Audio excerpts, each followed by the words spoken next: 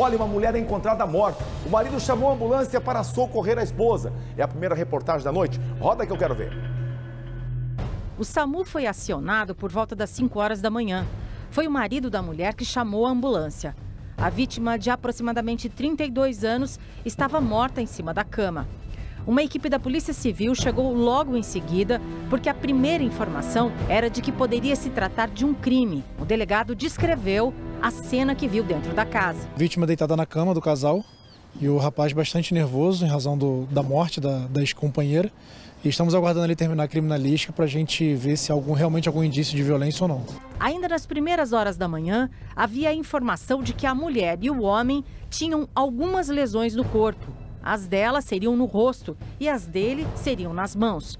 Alguns vizinhos disseram ainda que as brigas do casal eram constantes, mas o homem justificou os machucados. Tem um cachorro na residência, ele falou que o cachorro que mordeu a mão dele e isso que resultou essa lesão. Você condiz realmente com uma mordida de cachorro, isso que ele disse? Isso a gente vai encaminhar ele posteriormente ao ML para verificar, através de exame de lesão corporal, se realmente é compatível ou não. Por conta disso, o marido foi encaminhado para a viatura da polícia e ficou lá até que a perícia fosse realizada. Cuidado voz de prisão ou apenas um encaminhamento?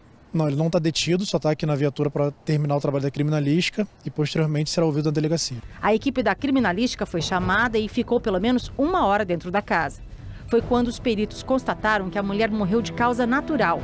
Nenhum sinal de violência foi encontrado nela. Encerrado o trabalho aqui da criminalística, eles nos informaram que não tem indício nenhum de crime, a princípio. Não tinha nenhum vestígio, sangue, nada na cama. No corpo da vítima também não apresentava nenhum tipo de lesão. Então agora o corpo vai ser encaminhado ao ML para tentar identificar a causa da morte e o companheiro da vítima vai ser ouvido na delegacia. Olha, esse primeiro caso já quero repercutir aqui com a doutora Márcia Marcondes. Doutora, boa noite, tudo bem? Boa Seja bem-vinda ao Cidade Obrigada Alerta Paraná. É sempre uma honra ter você aqui, viu? Doutora, esse caso, o marido e a esposa estavam ali e de repente ela amanhece morta. Exato. Num primeiro momento é o procedimento normal da polícia aguardar que ele permaneça ali, até que seja a conclusão de que ele não tinha nada a ver com a morte, viram que era uma morte natural? Num primeiro momento, toda morte ela tem que ser avaliada. As mortes podem ser natural, pode ser acidental, pode ser homicídio ou suicídio.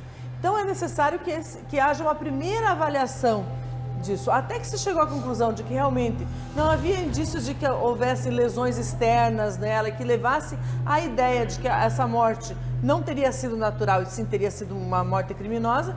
Sim, tem que se aguardar, até porque se se chegar à conclusão nesse, nesse primeiro, nessa primeiro momento de que essa morte não foi natural, aí sim ele passa a ser o suspeito. Mas até ali é só o aguardar e esse equilíbrio, doutor Tiago, no sentido de ter o máximo de informações possíveis para se tomar uma decisão na continuidade. Tá certo, doutor.